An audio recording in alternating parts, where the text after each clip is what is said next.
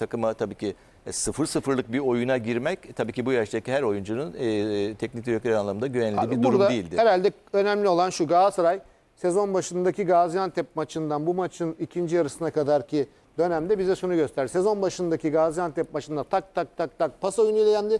Döndü bugün ikinci yarıda araya bırakma oyunuyla yani Galatasaray oyun zenginliğini, oyunun repertuarını yükseltiyor. Oyun çeşitliliği fazla bir takım haline dönüşüyor. Bu çok değerli olsa Yani gerek. ama bir Onyekuru'yla da bunu çok fazla e, hani değiştirdi, Muhammed ve- değiştirebiliyor gibisinden. Muhammed Hatta ve yandan gelecek Kerem'den de bahsedebiliriz. yani bu olabilir. Buraya Halil'i de katabiliriz. Halil'i de katabiliriz. Çok Tabii, ekstra tabii. bir oyuncu olacak Halil Trabzon bence. değil mi de? Trabzonlu. Benim e, hemşerim sayılır Akçabat'ta Babası da benim sınıf arkadaşımdı. Bu Kerem Aktürkoğlu'nun da birkaç nesil geriye gidersem bu da Trabzon çıkar. Kocaeli çünkü. Berat bile Trabzonlu çıktı sonuçta. Berat Trabzonlu yani. çıktı değil mi? Evet. Yani, yani böyle çok e, o anlamda zengin bir yer olduğumuz tabii ki şey yapılıyor ama dediğim gibi yani çok e, evet Onyekuru bugün çok iyi bir dönüş yaptı ama hani bu oyuna ne katacak? Hoca Veya sen nazik bir adamsın şey diyorsun ya. Bu akşamki Mücadele. Galatasaray'ı abartmayın diyorsun sen. Kesinlikle. Yani nazik olarak bunu söyleyemiyorsun. ben Yani, söyleyeyim. e, yani tabii ki şimdi e, 60. dakikadan sonra orta sahayı verdi.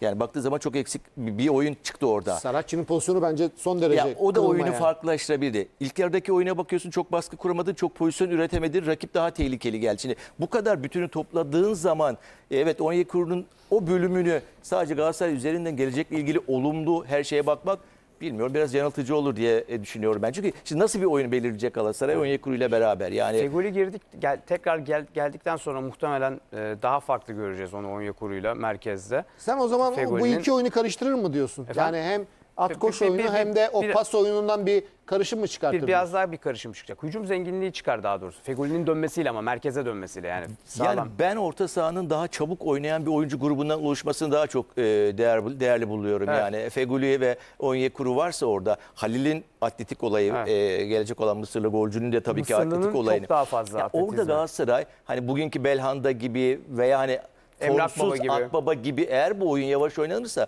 Galatasaray yine o öndeki oyuncuların çok anlamlı olacak E, bir hocam oyunu zaten bulamaz. e, ilk yarı Gaziantep'in e, oyun kurgusunun daha da iyi gözükmesinin temel sebebi o yavaş oyunda Galatasaray'ın doğru karar mekanizmasını da veremeyip oyuncularının merkezde bütün o kalabalıkla topu kaptırıp hücum yemesiydi.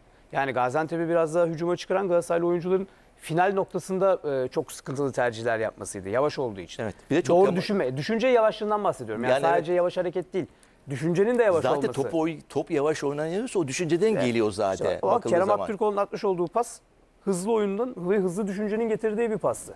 Ona karar verdi çünkü hareketlendiği zaman e, Kerem Aktürkoğlu. O bir de çevre kontrolünün de oyun görüşünün de e, iyi olduğunu gösteriyor ki Karacabey de hep bu kanatta oynuyordu zaten. Anagolt Erzincan'daki e, golcü performansında Kerem Aktürkoğlu Onyekuru gibi içeri girip skor yapan veyahut da şut atan bir oyuncuydu ama Karacabey'de oynarken e, arkasında da İsmail çok çalış vardı zaten.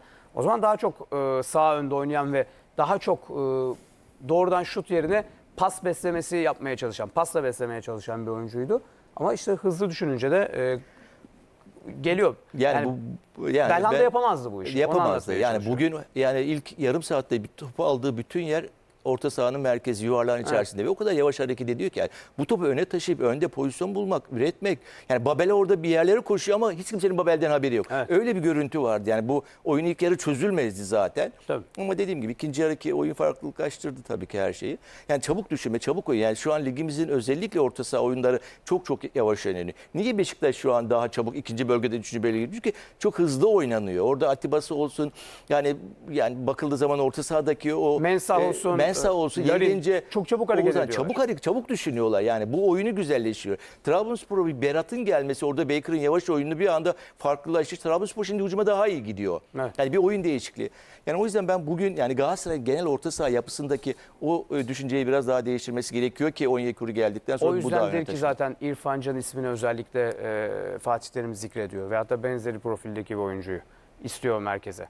Çabuk düşünebilen. Evet. Yani ben İrfan Can böyle e, sahayı e, atıyorum mensah gibi kat edebilen bir oyuncu mu? Hız anlamında değil. Ama İrfan Can'ın da bir meziyeti çabuk düşünüp pas Çok- atması. evet. O yüzden tercih ediyor muhtemelen. O yüzden ki Emre Kılınç Arda Turan'ı ikinci yarı merkeze çekti. En azından daha çabuk düşünebilsinler diye. Şöyle yapalım isterseniz takımlarda dikkat çekici perform tak- iki takımdaki dikkat çekici performanslarda rakamlara da bakalım. Hem Onyekuru'nun 45 dakikalık rakamına bakalım hem Kerem'in rakamına bakalım. Ee, Babel'in bugünkü performansı önemliydi. Puan tablosunda iç saha ve dış saha puan tablosunda Galatasaray puanları ilk kez eşitledi. 21'e 21 oldu. ve bu sezon hem iç sahada 21 puan hem dış sahada 21 puan. E, bunu yakalayan tek takım olduğunu da söyleyebiliriz. İç saha dış saha performansı Sarı Kırmızıların birbirinin aynı e, değerli izleyiciler. Sadece dışarıda bir galibiyet fazla. İçeride 3 beraberlik var. E, deplasmanda Galatasaray'ın henüz ligde beraberliği yok. Peki ve Galatasaray'ın oynadığı ve oynayacağı karşılaşmalar. 2-1'lik Gaziantep maçı sonrasında Başakşehir ile oynayacak. Sarı Kırmızılılar ardından Fenerbahçe deplasmanı, ardından Kasımpaşa ile içeride, ardından Alanya Spor deplasmanı. Sonrasında Erzurum Spor'la içeride oynayacaklar. Ankara Gücü Sivas Spor diye devam ediyor haftalar ama Başakşehir, Fenerbahçe öncesinde Gaziantep deplasmanıyla başlayan 3 maçlık bir e, orada İlk zorlu süreç vardı. 7 puan çıkarttığı bir seriydi bu.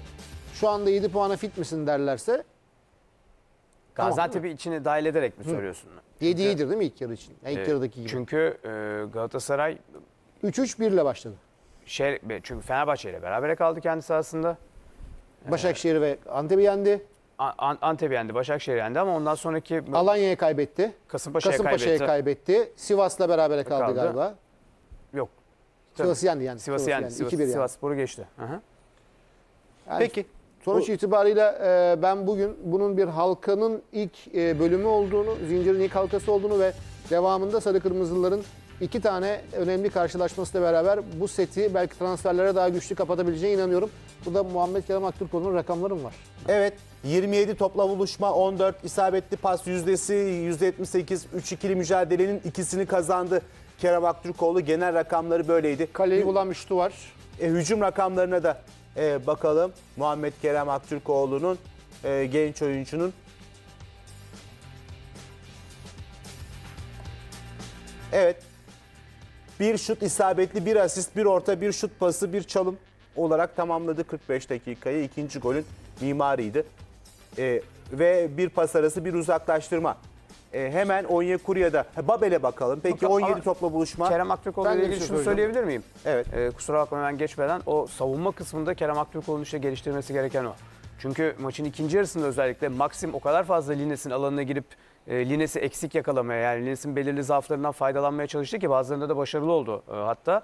E, orada hep Lines Maxim'le baş başa kaldı. Kerem'in o arkasındaki e, işleri de daha iyi yapıyor olması lazım. Bu konuda eksik mi yoksa bugün mü yapmadı? Bence biraz eksik. Eksik mi? Bence biraz Ve eksik. ke, Muhammed Kerem Aktürkoğlu'na Medipol Başakşehir Futbol Kulübü'nün altyapısında Mahmut'tan sonra çıkan en iyi ikinci oyuncu diyebilir miyiz? Altyapıdan çıkartma anlamında evet. Mahmut'tan sonra en iyi ikinci oyuncu Medipol Yani. Başakşehir Futbol Kulübü'nün altyapısında. Yani başka muhtemelen yoktur yani. Ama işte o altyapıdaki aldığı eğitimden değil çok çabuk oynama isteğinden sebep sürekli kiralanmasından ve oynamasından kaynaklanıyor bir de. Bir de o var yani. Biraz daha gelişim sürecinin Güzel, devam ettirmesi gerekiyor ama oynaya oynaya artık yol Tabii. kat edecek Tabii Kerem de. Ki. Peki Babel'in rakamlarına da bakalım. Babel nasıl bir performans sergilemiş? Ryan Babel hücum anlamında iki şut, ikisi de isabetli, bir asist, bir şut